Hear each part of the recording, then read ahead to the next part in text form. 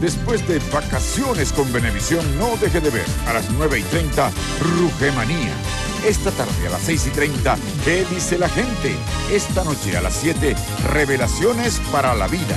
Y a las 8, la gran final de ¿Cuánto vale el show infantil?